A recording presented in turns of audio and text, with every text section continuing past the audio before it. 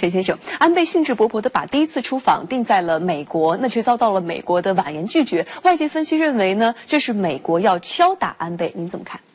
这安倍的热脸呢，这个遭遇到了奥巴马的冷屁股是可以预想的，因为呢，他的右倾政见呢已经触犯了美国的底线，一呢是修宪，二是否认历史，三是对东亚局势的这个摇动。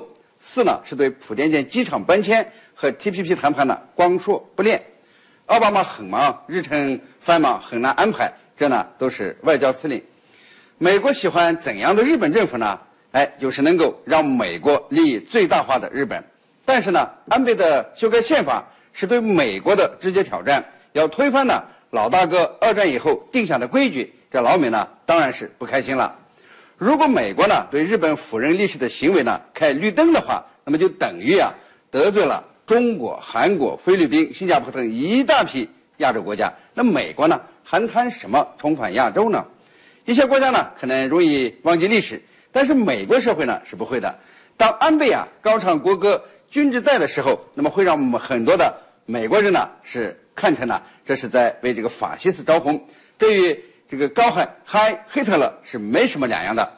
希拉里曾说呀：“如果日本呢不承认慰安妇，那么总该承认性奴吧？”这呢就代表普通美国人对日本呢战争历史的一个态度。性奴呢实际上比慰安妇呢是更难听的词。当然呢，最重要的是美国很清楚，假如认同了安倍否认历史的政见，那么美国丢掉的是整个亚洲，丢掉的是亚洲大市场。美国经济呢，现在面临的挑战不是希腊式的崩溃，而是日本式的长期滞涨。这呢是美国经济学家的一种看法。